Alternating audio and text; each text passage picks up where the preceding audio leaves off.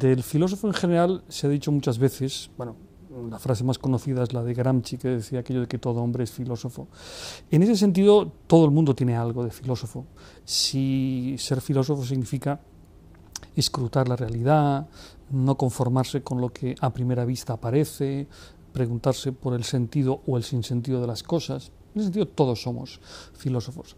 Luego, otra cosa, evidentemente, son los filósofos profesionales. Y no lo digo con, con, ninguna reticencia.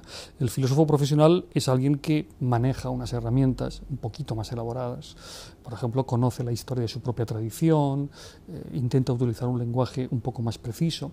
Y en ese sentido, eh, el filósofo profesional en nuestra época pues, pasa por unos avatares particulares, porque da la sensación de que ese tipo de actividad no es una actividad que acabe de encontrar su lugar o su, su función hoy en día.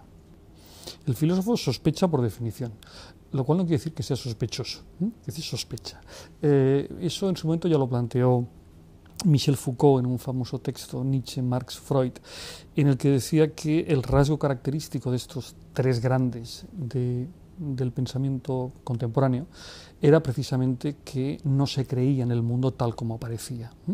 Eh, Freud no creía en digamos, la vigilia de la razón, creía que detrás de nuestras conductas había una especie de mar de fondo que las explicaba. Eh, Marx dudaba de lo que aparecía en la sociedad y atribuía a los mecanismos ocultos del capitalismo lo que aparecía de forma visible, y Freud eh, y Nietzsche perdón, atribuía eso también a los valores. ¿eh? Dudaba acerca de los valores que, existen en nuestra sociedad. En ese sentido, yo creo que lo característico de, del filósofo, o quizá mejor del buen filósofo, es precisamente su capacidad de, sospechar. Es decir, su capacidad de fijarse en aquellas cosas eh, digamos que el resto de los mortales, por así decirlo, pasa por delante, encontrándolas absolutamente normales. ¿no? Eh, Ortega eh, distinguía entre ideas y creencias y decía las ideas se tienen, en las creencias se está. Y él se refería a las creencias para hablar de esos especie de convencimientos que ni siquiera vemos porque todos tenemos absolutamente interiorizados. Y entonces decía Ortega que de lo que se trata es de traer otra vez las creencias al plano de las ideas para que las reconozcamos como ideas y, las, seamos capaces de discutirlas. Entonces, juntando las aportaciones de los dos, diríamos que el filósofo es alguien que sospecha porque se da cuenta que muchas cosas que no vemos son creencias que necesitan ser cuestionadas, interpeladas, etcétera. Bueno, a mí me gustaría ser capaz de, de sospechar del máximo de cosas, en el sentido de eh, ser capaz de, de plantearme eh, muchos de, de, los tópicos o de las afirmaciones que todos tendemos a dar por descontadas.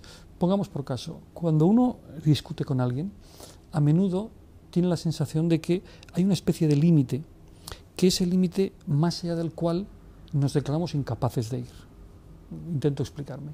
Cuando uno discute con alguien de lo que sea y ese alguien, o nosotros mismos decimos, hombre, es que si no me aceptas esto, apaga y vámonos. Cuando alguien dice apaga y vámonos, está diciendo, no soy capaz de discutir más allá de esto. Me tienes que aceptar esto porque si no es que ni siquiera podemos seguir hablando. Bueno, pues yo creo que el, el, buen filósofo, y me gustaría aproximarme un poco a ese ideal, es alguien que cuando el otro dice apaga y vámonos, dice, no, espérate, todavía podemos discutir un poquito más. Eso también lo decía Wittgenstein, cuando decía que los límites de, del lenguaje son los límites del mundo y que lo que tenemos que hacer es intentar forzar esos límites, es decir, ampliar el ámbito de cosas que somos capaces de pensar y de cuestionarnos. Si esto lo planteamos históricamente está clarísimo, es decir, hay cuestiones que hace unos siglos eh, la humanidad ni siquiera era capaz de plantearse, porque las daba por descontadas, las daba por obvias. Pongamos por caso, en la cultura occidental eh, el debate acerca de la existencia de Dios es muy tardío, históricamente es muy tardío. Durante muchos siglos lo que existían eran herejes, pero no existían eh, ateos. La existencia de Dios era algo que se daba por descontado. Era una de esas cosas que cualquier interlocutor nos diría, es que si no crees en Dios, apaga y vámonos. Y nosotros hoy podemos cuestionarnos eso tranquilamente. O por ponernos más cerca de nosotros, eh, hasta hace mucho menos tiempo, hasta hace décadas, la idea de hombre era una idea casi intocable. Cuando aparecieron los primeros filósofos hace pocas décadas, diciendo que a lo mejor esto de el hombre con mayúscula es un invento de la cultura occidental, es un concepto con el que no debemos, no podemos ni debemos funcionar. Hubo muchísima gente que se rasgó las vestiduras, que pensó que ya no podíamos seguir pensando. Y hoy es un tópico, eso de que el hombre es un concepto muy discutible, o el concepto de progreso, o tantos otros.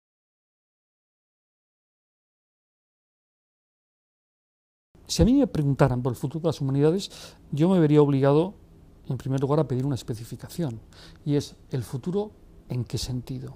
Quiero decir, eh, yo no creo que sea forzoso que la sociedad tal como está organizada nos lleve a un lugar en el que las humanidades no tengan ningún sentido ni cumplan ninguna función.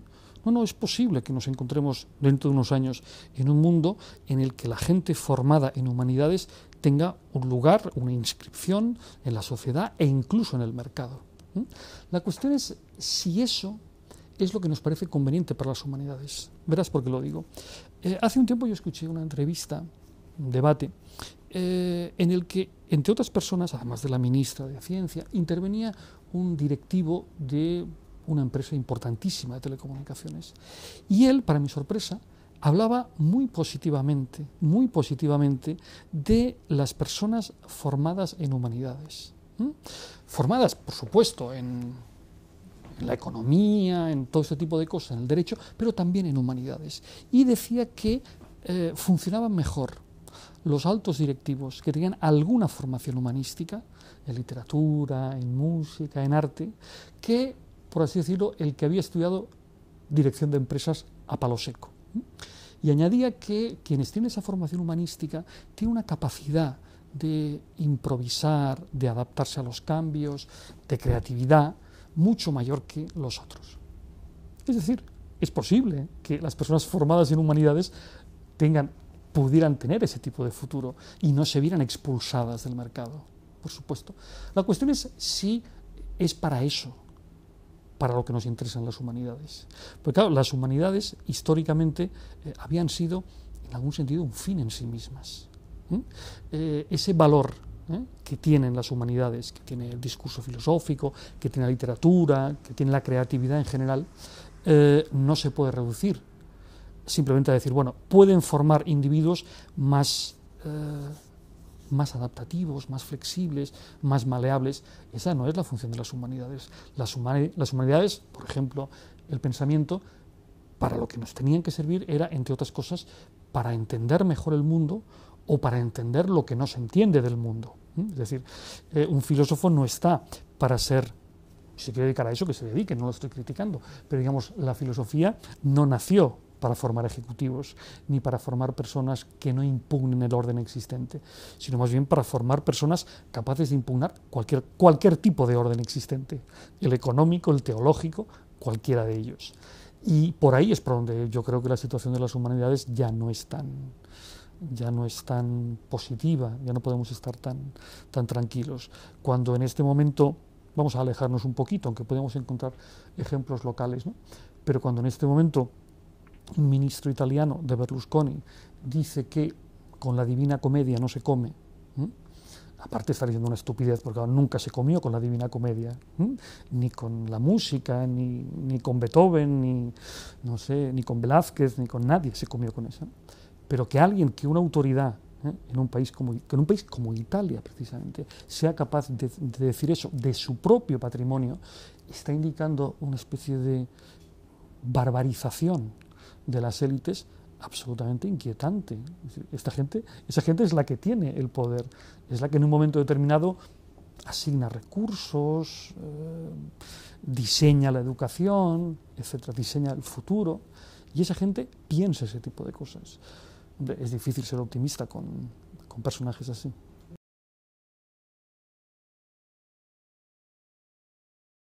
Tendemos a tener una concepción de la realidad de lo que hay como algo intocable, como algo indiscutible, como algo que no se puede cambiar. O sea, el mundo es como es y ya será así para los restos. Y hemos interiorizado esta imagen hasta el punto de que mm, hoy podríamos hablar con una persona joven, preguntarle por cómo se imagina el futuro, le podemos hacer la pregunta, ¿cómo te imaginas dentro de 20, 30, 40 o 50 años? Y probablemente nos respondería, es muy probable, imaginándose más o menos cómo es el mundo ahora, con unas cuantas modificaciones técnicas, con avances, en fin, con ordenadores diminutos, con la tecnología incorporada a toda nuestra vida cotidiana, con una comunicación instantánea, global, todo lo que tú quieras. Pero se imaginaría el mundo tal como es. Si nosotros le hubiéramos hecho esa pregunta a un joven hace 40 años, nos hubiese dicho, dentro de 40 o 50 años, vete a saber cómo será el mundo. Es decir, hace un tiempo, poco tiempo, ¿eh? se daba por descontado que el mundo podía cambiar. Incluso se soñaba con que cambiaría radicalmente. Hoy se da por descontado que no va a cambiar. Que lo que habrá será avances tecnológicos. Pero que el orden del mundo, eso no hay que lo toque. Y eso, curiosamente, en un momento en el que ese orden del mundo, a fecha de hoy, ¿eh? se está revelando extremadamente frágil. Porque es curioso, por un lado pensamos que el mundo no puede cambiar y sin embargo estamos, en términos generales, muertos de miedo, pensando cada día leyendo el periódico que va a pasar algo, que va a haber alguna catástrofe que lo va a hacer saltar todo por los aires. Pero lo que no pensamos es que podríamos ser capaces de construir un orden del mundo más justo, más libre, etc. Eso, con eso no contamos. Por ejemplo, si fuéramos relativistas de verdad, ¿eh? pensaríamos que puede pasar cualquier cosa en cualquier momento, pero no contamos con que pase cualquier cosa en cualquier momento. Hay un tipo de cambios que no digo que no sean posibles, yo creo que siguen siendo posibles, pero que no es una posibilidad que hoy forme parte de nuestro imaginario colectivo. El relativismo lo aplicamos a un campo, no te voy a decir que insignificante, pero relativamente menor. Si fuéramos de verdad relativistas, veríamos el orden del mundo como es, es decir, mucho más frágil. Históricamente hubo, épocas en las que se creyó en eso. Razonable por lo menos en el sentido de poder dotarse de, que el propio capitalismo pudiera dotarse de mecanismos de corrección ¿eh? de, de sus propias disfunciones, de sus propios desajustes. Eh, hubo un primer momento fundacional en el que se daba por descontado que eh, el capitalismo el mercado disponía de su propia racionalidad. Hay mucha gente, todavía ahora hay gente que, cree que el mercado es capaz de autorregularse. Cuando los clásicos del liberalismo decían aquello de eh, vicios privados, virtudes públicas, es decir, que cada cual busque en la sociedad su propio beneficio, que aunque aparentemente haya una especie de lucha por la vida descarnada, esa competencia generalizada al final sin que los individuos sepan por qué, crea una especie de orden propio. La oferta y la demanda. El mercado, digamos, autorregula las tensiones sociales. Bueno, a la vista está que eso es posible que pueda ocurrir, quizás es posible que haya habido épocas en las que se ha tenido esa sensación, pero es obvio que no es ahí a donde hemos desembocado, en absoluto hemos desembocado ahí, sino más bien hemos desembocado una especie de exasperación, no solamente de la competitividad, sino de las injusticias eh, tremenda. Es decir, el, modo en el que eh, en los últimos años se han desplazado a nivel planetario las rentas de los sectores más desfavorecidos a los sectores más favorecidos no es un indicador de que el capitalismo sea capaz de, autorregularse. Insisto, hubo épocas, no digo las fundacionales, sino en medio, en, las que se pensó que eh, la sociedad, las democracias, que en definitiva serían un mix de eh, libre mercado y liberalismo, que las democracias eran capaces de dotarse de los elementos autocorrectivos para eso. La fantasía, la clásica fantasía de la socialdemocracia era esta. Es decir, bueno, el capitalismo tiende, eh, propende al enriquecimiento de unos por encima de otros, es en sí mismo, tiene en sí mismo un elemento de injusticia, pero nosotros a través de determinados mecanismos podemos introducir elementos de redistribución, en ese sentido ir digamos, rebajando o corrigiendo esa tendencia estructural a la injusticia. Eso se pensó, pero en fin, yo creo que la crisis en la, en la que está hoy inmersa la socialdemocracia hace pensar que con eso solo no ha sido suficiente. Por un lado, es evidente que eh, los, los, poderes económicos, que son poderes económicos transnacionales, eh, están teniendo un protagonismo casi absoluto. Pero esto ahora ya no es una teoría de la conspiración, ahora es primera página de los periódicos constantemente. Cada vez que nosotros leemos, ¿eh? los mercados lanzan una ofensiva contra tal país, en ese momento lo que se nos está diciendo es los poderes económicos están cuestionando la política de tal país, el que sea, el nuestro o el que sea. Entonces, eso está claro, que, que existe, que funciona, el protagonismo de los poderes económicos por encima de los políticos. Eh, eso es cierto. La única puntualización que a mí me gustaría hacer es que mm, a veces los propios responsables políticos tengo la sensación de que se columpian un poco con esto. Es, cierto que su margen de maniobra es mucho menor que antaño, por muchas razones, desde la más obvia, y es que, bueno, si no se tiene moneda propia, pues el margen de maniobra se reduce mucho, ya no son posibles las devaluaciones, hoy todo está eh, globalizado, en fin, las comunicaciones, las mercancías, todo funciona a nivel planetario. Entonces, es obvio que el margen de maniobra de los poderes, digamos, nacionales del Estado-nación se ha visto reducido mucho. Pero también es cierto que esos poderes políticos, nacionales, autonómicos, locales. ¿eh? A veces utilizan el argumento, es el viejo argumento castizo de yo soy un mandado, yo no, puedo hacer nada, ¿no? yo recibo órdenes, para, en cierto modo, desresponsabilizarse. Eh, ahora se está volviendo a hablar de este asunto, eh, pero, pero me parece muy importante. Algo tan escandaloso desde el punto de vista ecológico como la destrucción del litoral mediterráneo por la especulación, eso eh, se ha producido porque los poderes locales, los ayuntamientos y los poderes autonómicos lo han permitido.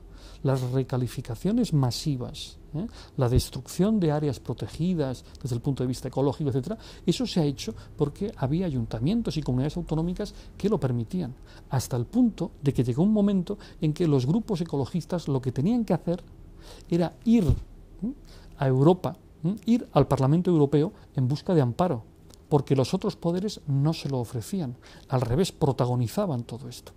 Eh, o sea que me parece que ese elemento mm, hay que puntualizarlo bastante, porque, insisto, eh, a veces creo que, no me gusta hablar así, pero para entendernos, ¿no? los políticos se ponen la piel de cordero para decir que no pueden hacer nada y sin ninguna duda podrían hacer más de lo que hacen.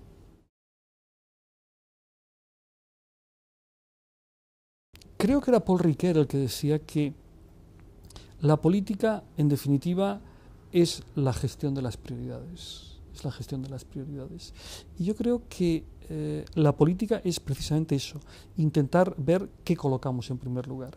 A mí me parece que eh, los, pobres ciudadanos mm, son algo así como la terminal, la terminal casi casi desvalida de eh, una gestión de los recursos e incluso de la información eh, de la que son eh, terminal y son sujetos pasivos. Es decir, a nosotros eh, cada dos por tres se nos confronta a una nueva injusticia.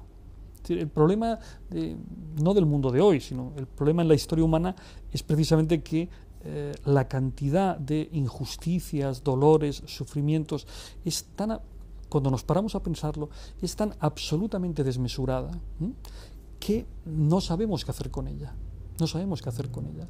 Eh, la única forma de que fuéramos capaces de hacer algo con ella sería si realmente, eh, por así decirlo, nos, sentáramos a decir, ¿podemos cambiar el orden del mundo e intentar que sea un orden del mundo más justo? Eso sería lo único.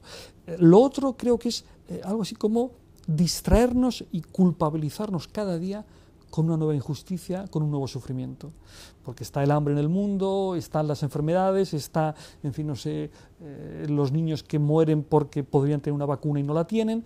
el ranking de, sufrimientos y dolores es tan absolutamente abrumador que yo creo que a menudo lo que hacen, eh, lo que se hace desde los medios de comunicación o desde los poderes públicos es algo así como eh, generar una cierta inquietud, una cierta mala conciencia. Una mala conciencia por algo así como por, entre comillas, admitir nosotros que eso esté ocurriendo.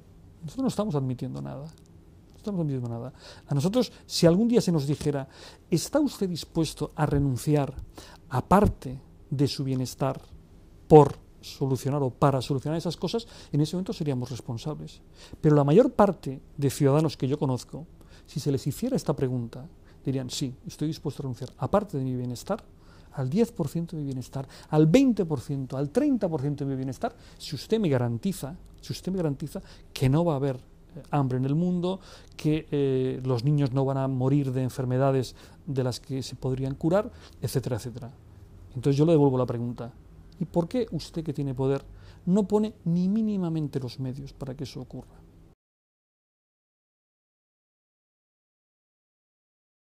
A la escala modesta en la que el pensamiento siempre puede aportar eh, elementos para, para, dudar, para sospechar, para no aceptar algo así como mm, el orden existente que una y otra vez se nos propone.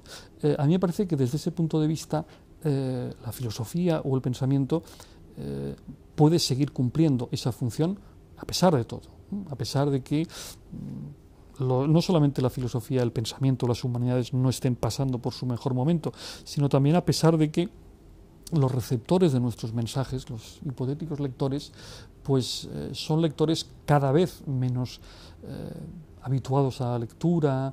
Eh, hay un tipo, esto lo dijo hace un tiempo Clinton, ¿no? dijo, hay que seguir potenciando esa comunicación en la que lo que alguien hizo durante unos meses encerrándose a pensar, es recibido por alguien que le dedica unas horas, unos días, unas semanas. Ese es un tipo de comunicación privilegiada, además muy hermosa. ¿eh? Pensemos en esto, pensemos en el autor que pasa no ya meses, sino a veces años reflexionando sobre un asunto, pensando, preocupándose, a veces incluso torturándose, intentando aportar un elemento de inteligencia para que los seres humanos entiendan algo mejor lo que, lo que les está pasando y que eso es recibido, digámoslo así, amorosamente por alguien que se empapa de esa reflexión, que se empapa de esa preocupación. Esto no lo podemos sustituir por, siendo muy respetable, por el navegar de página en página de manera compulsiva. No es el mismo tipo de comunicación, no la podemos eh, ni equiparar ni mucho menos sustituir.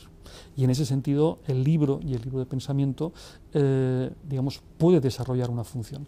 La cosa es que nos la dejen desarrollar, pero que hay, no ya voy a decir que un hueco, porque es un lenguaje muy, muy del interés y del cálculo y de la economía, sino que hay una necesidad, que es con perdón, la necesidad de la luz, la necesidad de ver claro en medio de la oscuridad. Y eso es lo que siempre han cumplido los libros.